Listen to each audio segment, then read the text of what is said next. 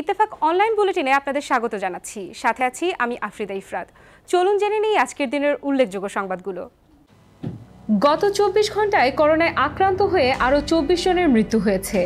এ নিয়ে করোনায় মৃতের সংখ্যা বেড়ে দাঁড়াল সাতাশ হাজার তিনশো সাঁত্রিশ জনে।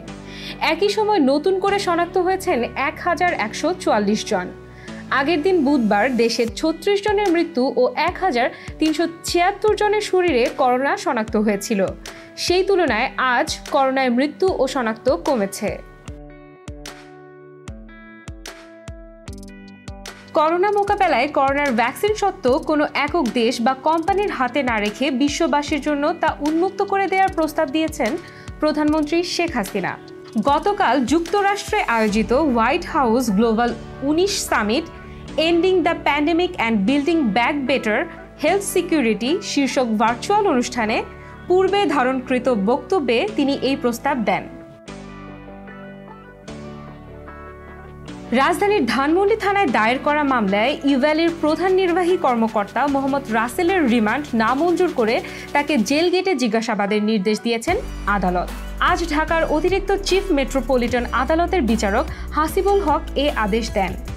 এর আগে মামলার তদন্ত কর্মকর্তা আবুল কালাম আজাদ সুষ্ঠু তদন্তের প্রয়োজনে রাসেল ও তার স্ত্রী শামিমা নাসরিনের পাঁচ দিনের রিমান্ডের আবেদন করেন। আন্তর্জাতিক এনজিও সেভ দ্য চিলড্রেন জানিয়েছে, সিরিয়ায় বড় দুই শরণার্থী শিবিরে বিপজ্জনক পরিস্থিতির মধ্যে বড় হচ্ছে শিশুরা। এতে নষ্ট হচ্ছে তাদের জীবন। সুন্দর ভবিষ্যতের বদলে অন্ধকারে ধাবিত হচ্ছে তারা।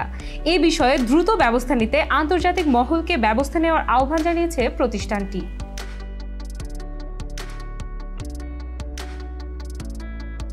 স্বাস্থ্যমন্ত্রী জাহিদ মালেক বলেন, হজরত শাহজালাল আন্তর্জাতিক বিমানবন্দরে বিদেশগামী যাত্রীদের করোনার নমুনা পরীক্ষা শুরু হচ্ছে আগামী শনিবার থেকে।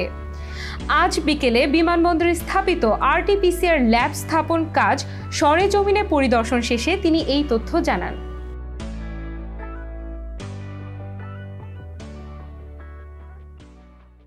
শুনছিলেন আজকের দিনের উল্লেখযোগ্য সংবাদগুলো। সাথে থাকার জন্য ধন্যবাদ।